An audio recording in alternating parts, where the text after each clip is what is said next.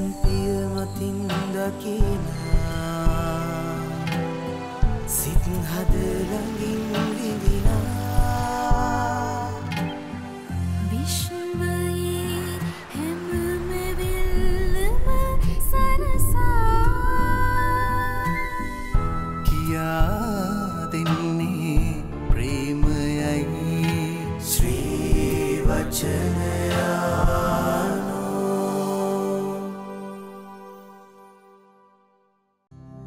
පළමුුවන දේව ප්‍රකාශනය නික්මයාම පොතෙන් උපුටාගත් පාටයකි.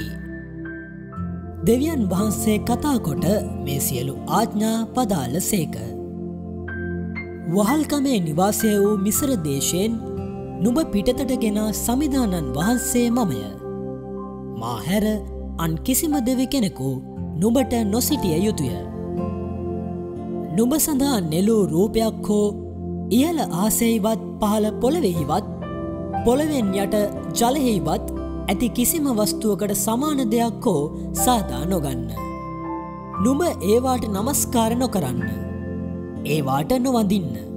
මන්ද නුබේ දෙවි සමිධානන් වහන්සේ වන මා ප්‍රතිවාදීන් නොයිවසන දෙවි කෙනෙකු වන බැවිනි. මට වෛර කරන පියවරුන්ගේ පාපය නිසා තුන්වන සතරවන පරම්පරාව දක්වා ඔවුන්ගේ දරුවන්ට මම දඩුවම් කරමි.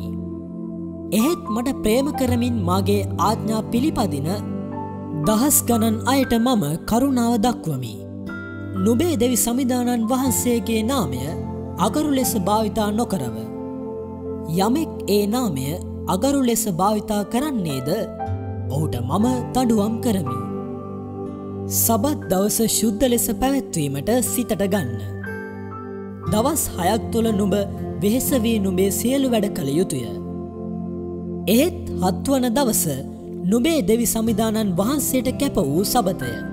එදින නුබවත් නුබේ පුතුන්වත් දුවවත් නුබේ සේවකයාවත් සේවිකාවවත් නුබේ සතකුවත් නුබේ වාසල් දොරටු සීමා තුළ සිටින අමුත්තෙකුවත් කිසි වැඩක් නොකළ යුතුය.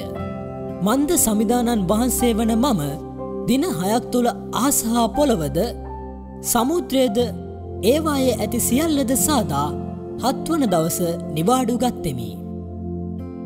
එබැවින් උන්වහන්සේ සබත් දවසට ආශිර්වාද කොට එය විශුද්ධ කළ සේක. නුබේ පියාටද මවටද ගෞරව කරන්න. එවිට නුබේ දෙවි සමිධානන් වහන්සේ නුබට දෙන රටේ නුඹ බොහෝ කාලයක් ජීවත් වන්නේය. මිනී නොමරව. කාමමිත්‍යාචාරය නොකරව. සොරකම් නොකරව. නුබේ අසල්වැසියාට විරුද්ධව බොරු සාක්ෂි නොකියව. නුබේ අසල්වැසියාගේ ගෘහයට නුබ ඇලූම් නොකරව. තවද නුබේ අසල්වැසියාගේ භාර්යාවට හෝ ඔහුගේ සේවකයාට හෝ සේවිකාවට හෝ ඔහුගේ ගවයාට හෝ කොටළුවාට හෝ නුබේ අසල්වැසියා සතු වෙනත් කිසිවකට හෝ ඇලූම් නොකරව. දේව වචනය මෙසේය. ශුද්ධවර මතයුතුමන්ගේ සුවිශේෂෙන් උපුටාගත් පාටයකි. එබැවින් වපුරන්නා පිළිබඳ උපමාව තේරුම් ගන්න. යමෙක් රාජ්‍ය පිළිබඳ පණිවිඩය අසා එය වටහා නොගනී නම් ඔහුගේ සිතේ වැපුරූදේ නපුරා අවුත් පැහැරගනී. මගදිගේ වැටනු බීජ යන්නෙන් අදහස් කරනුවේ එවැනි අයය. පනිවෙඩය ඇසූ කෙනෙහිම එය සතුටින් පිළිගනිතත් සිත්හි තැම්පත් වී නැති බැවින් මද කලක් පැවත පනිවිඩය නිසා හිංසාවක් වූ පීඩාවක් වූ පැමිණි වහම කෙනෙක් පැකිලී වැටෙති. ගල් බිම්මල වැටනු බීජ යන්නෙන් අදහස් කරනුවේ එවැනි අයය. පනිවිඩය අසා මේ ජීවිතේ කරදරවලින්ද වස්තු මායාවෙන්ද පනිවිඩිය යටපත්වීම නිසා කෙනෙක් පල නොදරති. කටු අතර වැටුණු බීජ යන්නෙන් අදහස් කරනුයේ එවැනි අයය. පනිවිඩේ අසා එය වටහාගෙන සිය ගුණයක්ද හැට ගුණයක්ද තිස් ගුණයක්ද බැගින් කෙනෙක් පලදරති. සරුබිමේහි වැපුරු බීජ යන්නෙන් අදහස් කරනුයේ එවැනි අයය. ගැලවීමදායක සුභාරංචිය නම් මෙසේය. වපුරන්නා පිළිබඳව උපමාව අපි පොඩි කාලේ ඉඳලම දහම් පාස්සලේ හැමදේම පොඩිලාරු වගේ ඉඳන් ලොකු වැඩිහිටිය දක්වා හරියට දන ලස්සන උපමාවක්. මේ වපුරන්නාගේ උපමාව ස්වාමීන් වහන්සේ මතයතුමාගේ සුපාරංචි පටන් ගන්නේ වපුරන්නෙක් වපුරන්නට ගියේය කියලා. එහෙම යනකොට මේ බීජ එක එක තැන්වල මගදිගේදී වැටෙනවා නේද? තැන් ගොඩක් ගැන කියනවා. හැබැයි ඒකේ තියෙන විශේෂත්වය තමයි මේ වපුරන්න යන කෙනා බිම තෝරන්නේ නැහැ. බිම මොකක්ද කියලා තෝරලා බලලා නෙමෙයි යන්නේ. බොහොම බීජ ටික අරගෙන යනකොට තමයි ඒ බිම්වල වැටෙනවා කියන්නේ. මේ වපුරන්නා මේ හැම වෙලේම භූමිය තෝරගෙන නෙමෙයි තමන්ගේ බීජ වපුරන එක මතතුමාගේ සුභාරංචියේ ලස්සන ආරම්භයේදීම. ඒ නිසා දෙවියන් වහන්සේගේ වචනය දෙවියන් වහන්සේගේ වරප්‍රසාදය අරගෙන යද්දී නිදහසේ අරන් යන්නේ අපේ ජීවිත අපේ ජීවිත අභ්‍යන්තරේ එතුර ජීවිත අභ්‍යන්තරයේ සූදානම ගල් පොලවක් නං කට්ටු පඳුරු නං ඒවා පැලවෙන්ඩ සාරවත් තැනක් නැත්තං ඒ වපුරණදේ අනිවාර්යම නාස්ති වෙලා යනවා. නාස්ති වෙලා යනවා. නිසා බිම සකස් කර ගැනීම අපේ වගකීමක්. අපේ ජීවිත ගල් ගල් රළු තැනක්ද ගල් පර්වතද නැත්තං කටු පඳුරුවලින් ගාන දේවල්ද බීජයකට වරප්‍රසාදයකට වර්ධනය වෙන්න ස්වාමින් වහන්සේගේ ඇල්ම බැල්මකට විවෘත වෙන්න වරප්‍රසාදයකට වර්ධනය කරගන්න තැනක් නෙමේද? සාරවත් තැනක්ද? දෙවියන්ගේ වරප්‍රසාද උරා ගන්න පුළුවන්? දෙවියන් වහන්සේගේ වරප්‍රසාද තුල ගොඩනැගෙන්න පුළුවන් ජීවිතයක්ද?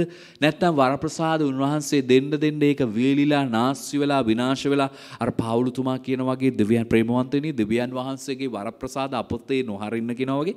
අපේ ජීවිතේ දෙවියන් වහන්සේ කොච්චර වැපුරුවත් කොච්චර වරප්‍රසාද දුන්නත් කොච්චර බීජ වැපුරුවත් කිසිම පලදාවක් නැහැ වෙනසක් නැහැ. පලදරන්න විදිහක් නැහැ. අභ්‍යන්තර ජීවිතේ විවෘත භාවයක් නැතුව.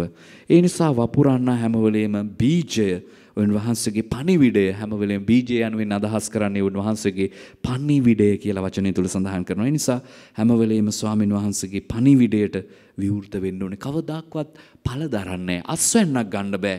ජීවිතේ දකින්න හැමතාම එක තැන නතර වෙලා වගේ කිසිම පළදාවක් නැහැ. කොච්චර බීජ වැපුරුවත් කිසිම පළදාවක් නැහැ. අස්වැන්නක් දකින්න බෑ. කොහෙද ජීවිතේ සාර්ථකත්වයක් දකින්න පුළුවන්නේ? පොළවට බිම සකස් කරලා නැත්තම් තමන්ගේ සිත සකස් කරලා නැත්තම් තමන්ගේ පොළව නැත්තම් සිත නැමැති පොළව සාරවත් නැත්තම් සිත නැමැති පොළව වියලිලා ගිහිල්ලා නම් සිත නැමැති පොළව කටුපඳුරු වගේ නම් සිත නැමැති පොළව පොළව ගල්තලාවක් වගේ නම් කොහෙද බීජ පැලවෙන්නේ? කොහෙද දෙවියන් වහන්සේගේ වරප්‍රසාද ඇල්ම බැල්ම වර්ධනය වෙන්නේ?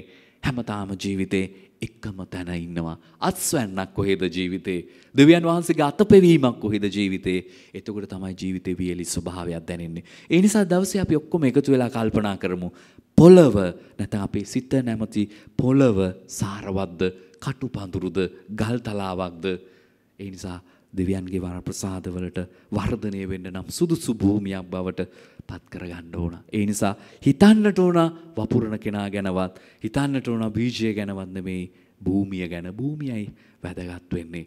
පණිවිඩය දීලා තියෙන්නේ. පණිවිඩය වපුරලා තියෙන්නේ. ගැලවීම දීලා තියෙන්නේ. ඒ ගැලවීම ලබා ගන්න ඕනේ. ලබා ගන්න භූමිය සාරවත් වෙන්න ඕනේ. ඒ නිසා යක්ෂා කරමු. අපිට ඒ පණිවිඩය අයිති කරගන්න ඒ පණිවිඩයේ වරප්‍රසාදය තුල ශක්තිමත් වෙන්න වර්ධනය වෙන්න අස්වැන්නකින් පළදරන්න අපේ හිත නැමැති භූමිය සාරවත් කරගන්න කියලා. සාරවත් කරගන්න දේව ශක්තිය ඉල්ලලා මේ සුන්දර උදෑසන අපි යාඥා කරමු. ආමේන්.